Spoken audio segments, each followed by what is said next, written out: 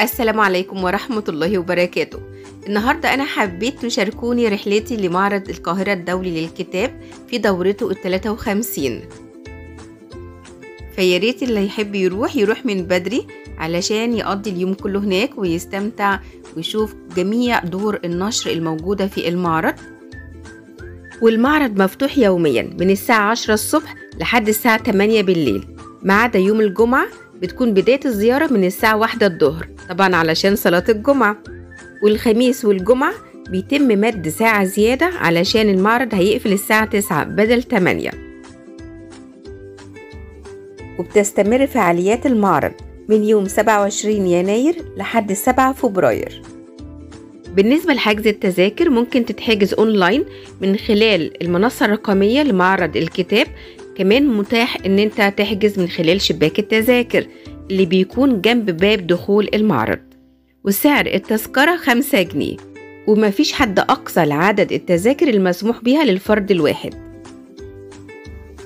أنا لما روحت كانت التذكرة بتاعتي مكتوب عليها بوابة أربعة وعلشان كده دخلنا من بوابة أربعة. والمعرض بينقسم لخمس قاعات القاعة الأولى والتانية للناشرين المصريين والقاعة الثالثة للناشرين العرب والأجانب ودور الناشرين المصريين المتخصصين في الكتب الأجنبية.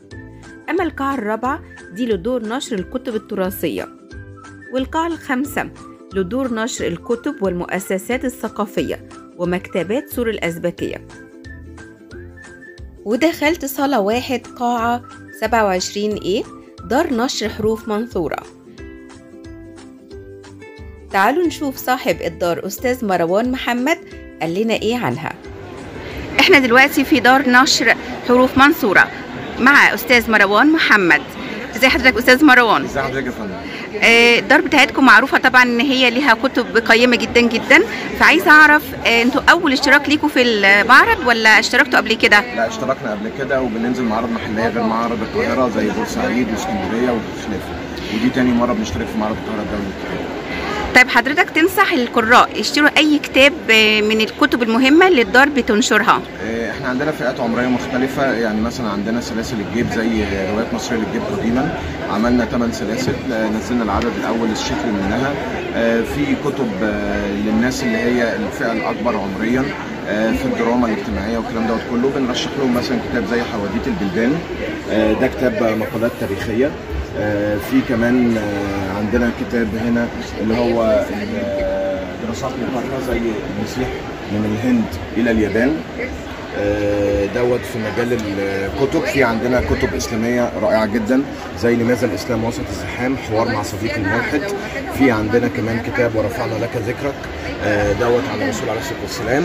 في كتاب استنشاق دعاوي الاستشراق للكاتب برضه محمد سيد صالح بيتكلم فيه على دراسات المستشرقين عن الشرق الأوسط.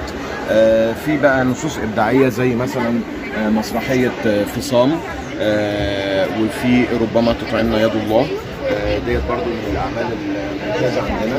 وفي آه، لا منتهى الأبعاد. وعنازيوم هنا. آه، ولمحبي اللي هم الخيال والفانتازيا بياخدوا في ضيافة اجسا الكاتبة صفاء حسين العجمي. تمام. طب وبالنسبة للأسعار؟ الأسعار عندنا إحنا عاملين خصومات 40% خصومات 40% أع- أقل كتاب ب 10 جنيه أعلى كتاب ب 60 جنيه. تمام. طيب وبالنسبة لمسابقة حضرتك اللي اشتركتوا فيها مع منصة بودكاست في آه، أحلى تعليق صوتي.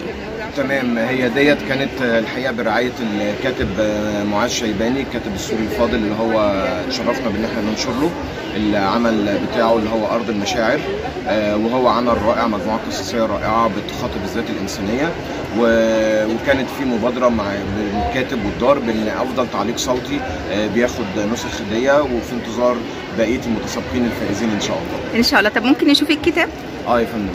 آه، ده كتاب أهو أرض المشاعر للكاتب معاذ شيباني شكرا جدا لحضرتك. تحت أمرك يا فندم. وبكده خلص فيديو النهاردة. علشان ما أطولش عليكم وهعمل لكم فيديو تاني وهكمل معاكم رحلتي في معرض القاهرة الدولي للكتاب. مشكرة لكم جدا واستنوني في الفيديو اللي جاي.